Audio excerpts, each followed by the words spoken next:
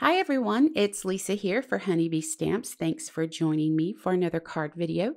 I'm sharing three quick and simple baby cards with you. I'm going to show you how to use stencils to create a fun background to spotlight these adorable images. I'm jumping straight into this by placing a piece of half inch purple tape across the center of a four inch by five and a quarter inch card panel. Now you're going to see me do this with all three of the card panels. Once I have the tape in place, I'm going to center the Spotlight Oval Stencil on the panel so I can start stenciling. So I'm going to start with the Chevron Arrow Stencil and Memento London Fog ink. I'm only applying the ink to the top part of the card panel. So I'm going to start on that oval stencil there and work my way off. I want this to be really soft since this is a baby card. I'm going to go ahead now and come in with the Flower Builder background stencil. I'm starting with the petals first, and I'm going to use Memento Cantaloupe ink for the flowers. And then I'm going to replace that pet, the petals stencil with the flower center stencil and I'm going to use the London Fog ink to go ahead and stencil the centers for the flowers.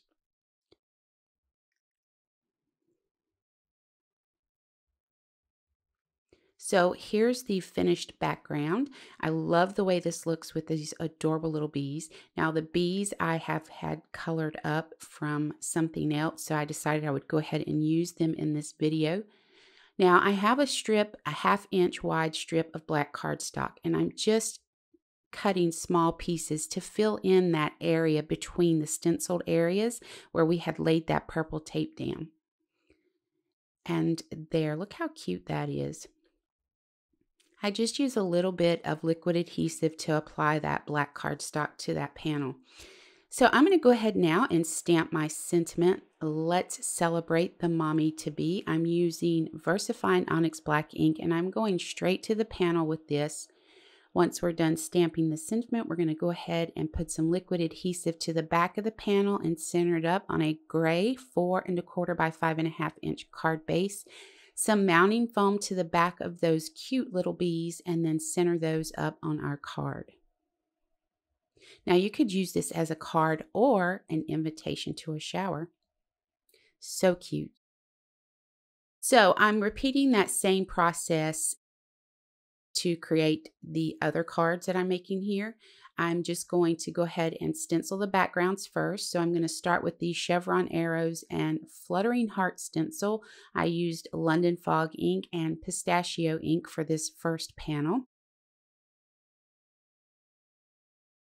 For this panel, I used the chevron arrows and the fluttering heart stencil, and I used desert sand ink and cantaloupe ink. Now I went ahead and I stamped the giraffes and elephants from the Safari Baby stamp set onto smooth cardstock and I used Memento Tuxedo Black ink for that.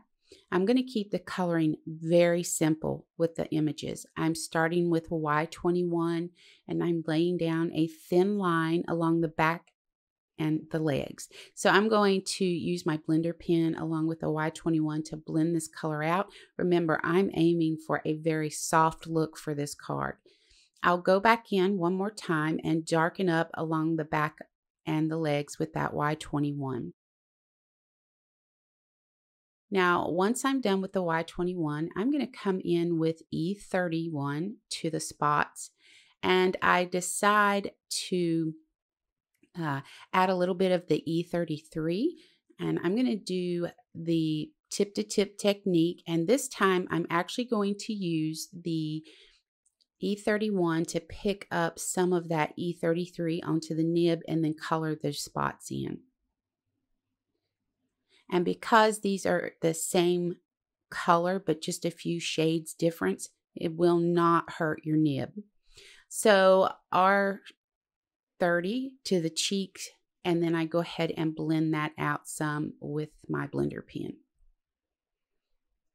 I'm going to use C9 on their little hooves to finish this image off.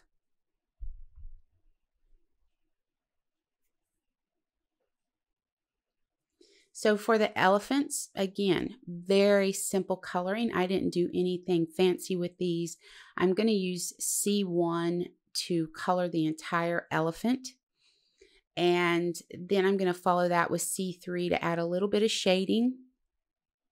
I'm going to come in with R01 to the cheek area and to the ears, and then I'm going to blend that out with R00, and then we're done. So just like the first card, I stamped the sentiment straight to the card panel liquid adhesive to the back of the panel and added it to a four and a quarter by five and a half inch card base. I added mounting foam to the elephants and adhered them to the card. Now I'm going to stamp a few hearts around the elephants to fill in a little bit of that empty space. I did add some black cardstock to fill in that void where we had laid down the adhesive to separate our stenciled areas, just like I did on the little bumblebee card. Now, on the giraffe card, I do things a little bit different, and I'm going to talk about that. So for the giraffe card, I decided not to add any cardstock in our voided area there. I left it white and then I went ahead and added mounting foam to the back of the giraffes. I stamped the sentiment from the Safari Baby Stamp set and used the coordinating die to cut that out, added mounting foam to the back of it, and went ahead and placed it below the giraffes. So I just finished these off with a few enamel dots and that's going to bring us to the end of this video. So I really appreciate you joining me today. I hope you'll click the subscribe button and ring the bell to be notified of new content to the channel. Now for more information about the products used, head over to the Honey Bee Stamps website and I hope you have an amazing day.